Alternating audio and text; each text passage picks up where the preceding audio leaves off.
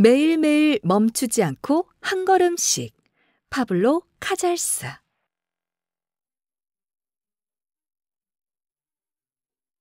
겨우 13살밖에 되지 않은 사내 아이가 스페인 바르셀로나의 고서점을 뒤지고 다녔어요.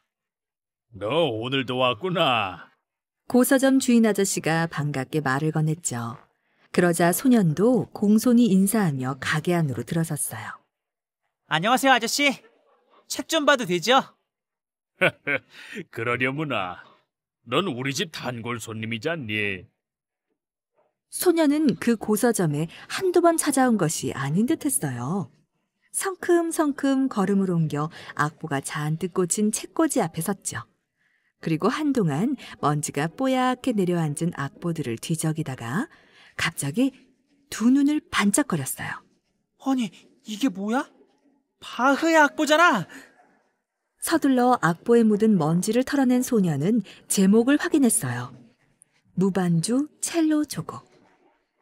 어둠 속에 200년 동안 잠자고 있던 바흐의 위대한 작품이 그렇게 세상의 빛을 보게 되었죠.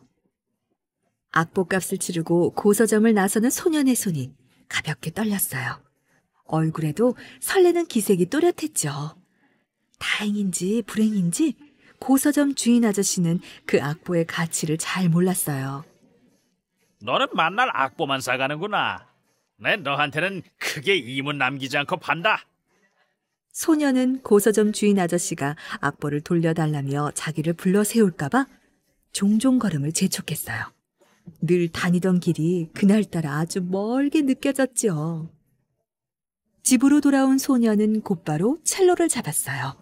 그리고 바흐의 악보를 보며 천천히 연주를 시작했죠. 아, 떨려. 내가 오랜 세월 동안 잊혀 있었던 바흐의 작품을 발견하다니.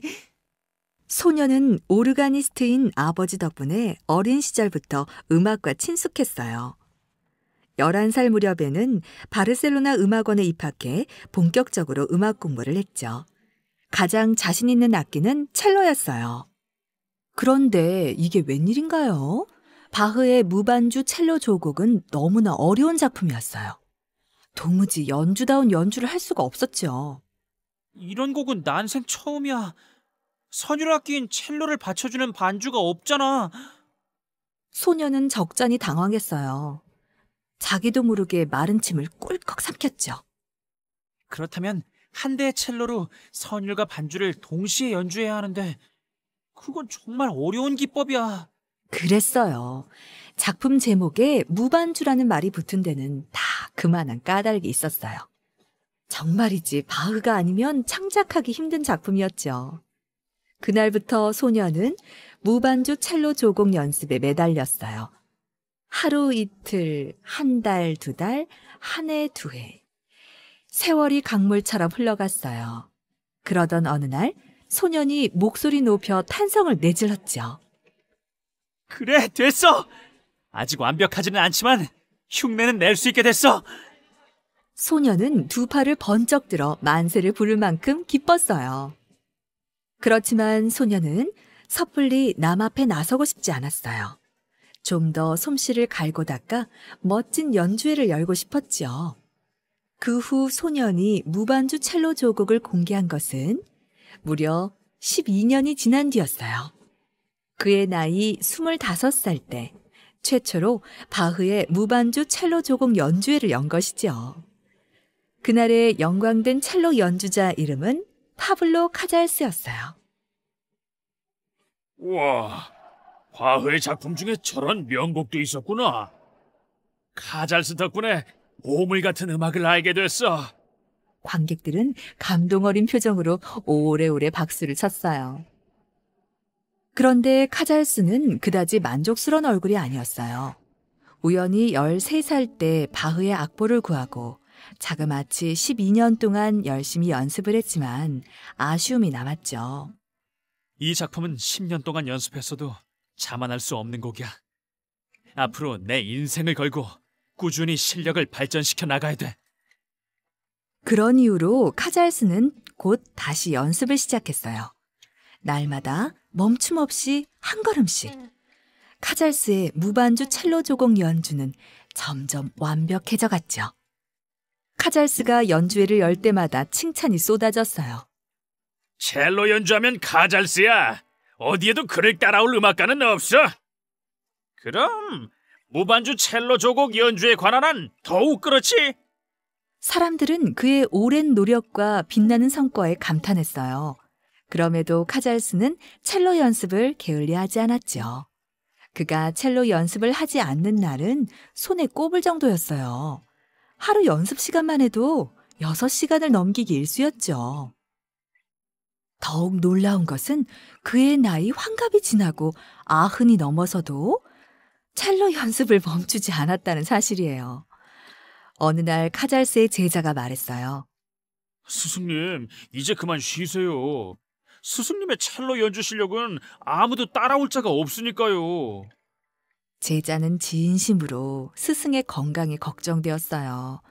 하지만 카잘스는 아무런 대꾸 없이 첼로 연주에만 집중했죠.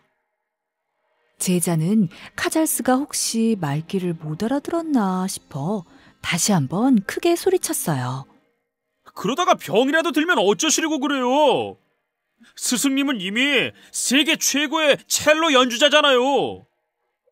그제야 카잘스는 빙그레 미소 지으며 손사래를 쳤어요. 이보게 그런 말 말게. 지금의 나에게 최고라는 찬사를 보내는 것은 옳지 않아. 제자는 스승이 너무 겸손하다고 생각했어요. 이어진 카잘스의 설명을 듣기 전까지는 말이죠. 카잘스는 마치 어진 아버지 같은 표정으로 자신의 건강을 염려하는 제자에게 이야기했어요. 내가 요즘도 열심히 첼로 연주를 연습하는 까닭은 여전히 나의 실력이 발전하고 있기 때문이라네. 매일매일 어제보다 조금씩 나아지는 오늘을 느끼지. 아, 스승님. 카잘스의 설명에 제자는 한없는 존경의 눈빛을 보냈어요. 왜냐고요? 세상에는 눈부신 재능을 가진 사람이 적지 않아요. 음악 분야에도 대가들이 있죠. 그런데 카잘스는 단지 재능만 뛰어났던 것이 아니에요. 그는 자신의 실력을 굳이 남들과 겨루려고 하지 않았어요. 음악은 경쟁심으로 하는 것이 아니야. 스스로 목표를 정해놓고 꾸준히 노력하는 것이 중요해. 제자는 바로 그와 같은 카잘스의 가르침을 비로소 이해할 수 있었어요. 그러니 존경스러운 마음이 절로 샘솟을 수밖에 없었죠.